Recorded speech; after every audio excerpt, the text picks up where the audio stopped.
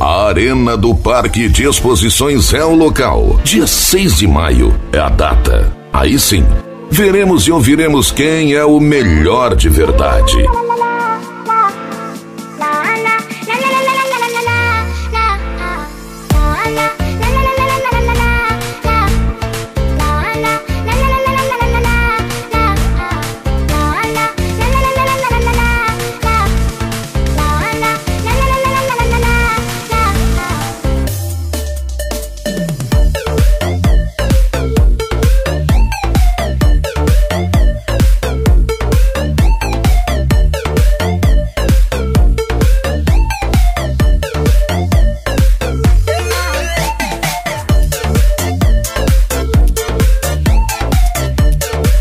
Na categoria até 36 alto-falantes, premiação de mil reais mais troféu. Vai ser inigualável. Ou melhor dizendo, vai ser show.